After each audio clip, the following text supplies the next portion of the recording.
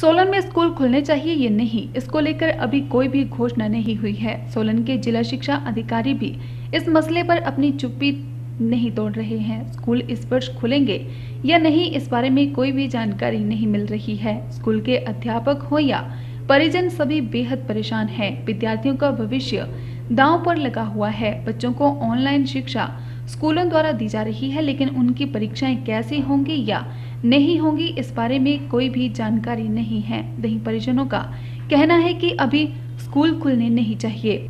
परिजनों ने कहा कि अभी प्रदेश सरकार को चाहिए कि वे स्कूल न खोले, क्योंकि अगर वे स्कूल खोलते हैं तो संक्रमण का खतरा बढ़ जाएगा। उन्होंने कहा कि बच्चे किसी भी हालत में सोशल डिस्टेंसिंग भी नहीं रख पाएँगे। विद्यार्थी जल्द संक्रमित हो सकते हैं। उन्होंने कहा कि अब धीरे धीरे कम्युनिटी स्प्रेड हो रहा है, जिसकी वजह से वे बेहद चिंतित हैं। उन्होंने कहा कि जहाँ इतने महीने उन्होंने इंतज़ार किया, वे कुछ माह और भी इंतज़ार कर सकते हैं। उन्होंने बच्चों के परिजनों को भी यही सलाह दी है कि वे अपने बच्चों को अपने पास ही रखें, तभी वे सुरक्षित रह सकते हैं। उन्होंने कहा कि अगर कोरोना की कोई वैक्सीन आती है तो ही वे अपने बच्चों को स्कूल भेजने का मन बना सकते हैं, लेकिन बिना वैक्सीन के वे अपने बच्चों को स्कूल नहीं भेज सकते।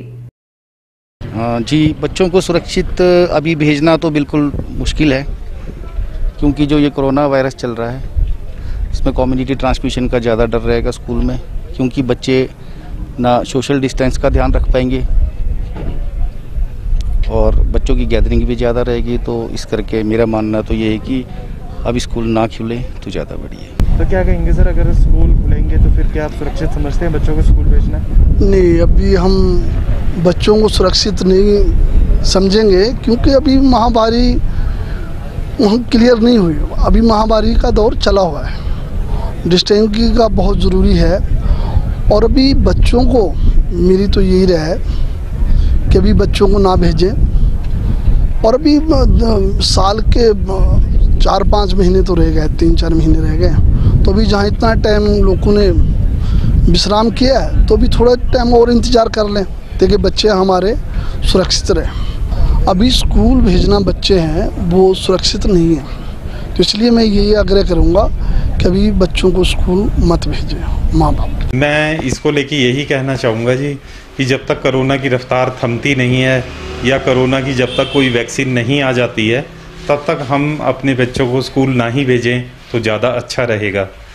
क्योंकि जिस तरह से आज का माहौल है, जब से लॉकडाउन खुला है, हम देख रहे हैं कि आए दिन जो है मामले बढ़ते जा रहे हैं।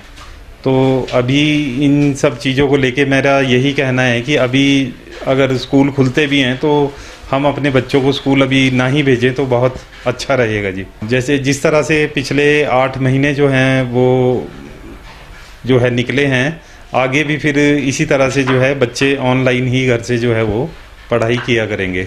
जब तक कोरोना की रफ्तार जो है वो थम नहीं जाती। अगर कोई वैक्सीन इसकी आ जाती है तो तभी हम अपने बच्चों को जो है वो स्कूल भेजने का विचार कर सकते हैं। अदरवाइज़ ऐसे माहौल में तो भेजना बड़ा मुश्किल है जी।